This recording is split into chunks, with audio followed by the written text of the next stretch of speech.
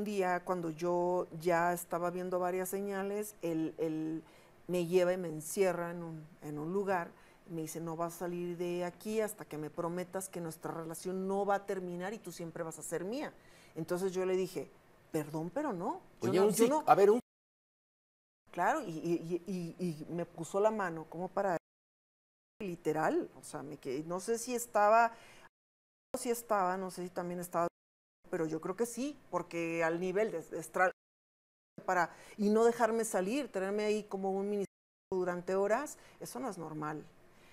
Yo, gracias a Dios, después de, de horas, yo creo que por el efecto que él tenía también de, de- del y de las tal sus recayó un poco y ahí fue donde yo me pude librar,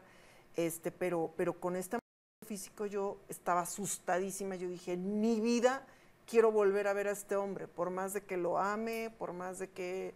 eh, lo que sea, borré todo, borré cuentas de él, cambié celulares, me cambié de casa, me hice todo lo que tuve que hacer para irme de su vida.